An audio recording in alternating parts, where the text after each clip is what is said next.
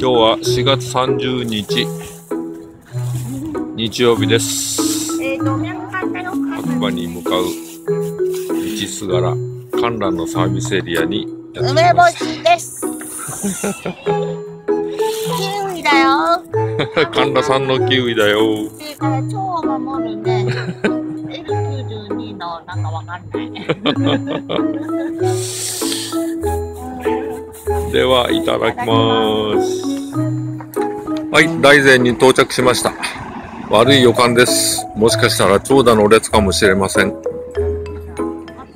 結構待ってるよ、今日。あれまあまあいいか待つか。は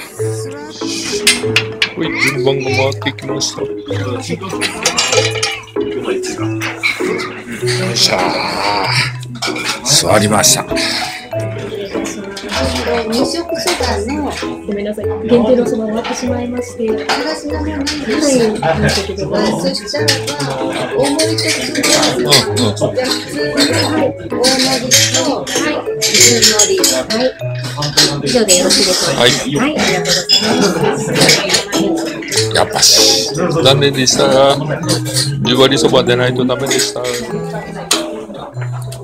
おそばが来ました今回はなんと天ぷらの盛り合わせ付きです。ではいただきます。赤ちゃんは何いくつ買うの？これは3つ。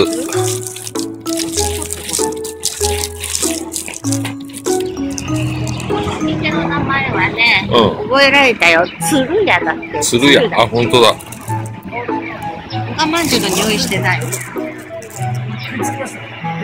鶴屋ですは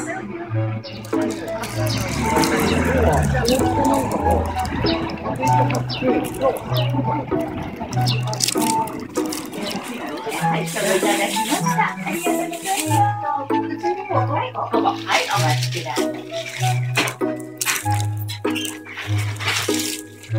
農林大臣賞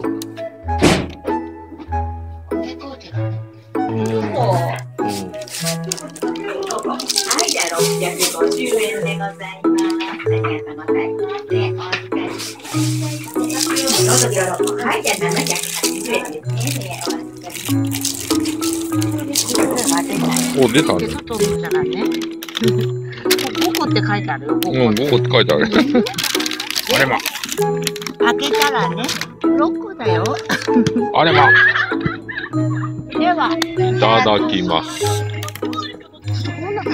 じゃあ、父ちゃんが食べてあげます。これ崩れてるのどこが崩れてんだか教えてください。うん。こ崩れてないよ。いただきます。ただきます。柔らかい。これあんまり甘くない。うん。